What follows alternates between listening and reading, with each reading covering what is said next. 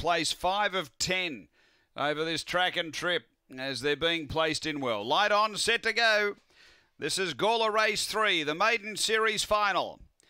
On their way, Speed coming out wide here from Highly Praised. Pushing on. Hayride Rowbottom booting through the reserve. Chicks Love Me. Three out coming at them quickly and challenging.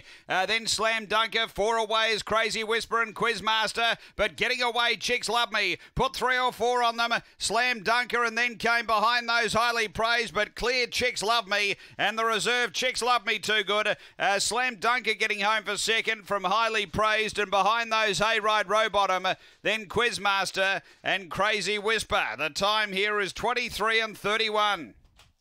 After the running of race number three, and Chicks Love Me, he had some really nice acceleration early. Uh, was out wide, charging around them, took over, and has been too good. Numbers are 9, 1, 8, and 2. 23 31 is the time.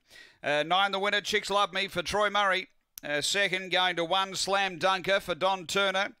And third to eight, highly praised for Tony Nobes. Numbers are 9, 1, 8, 2 fourth after uh, Gawler, race number three.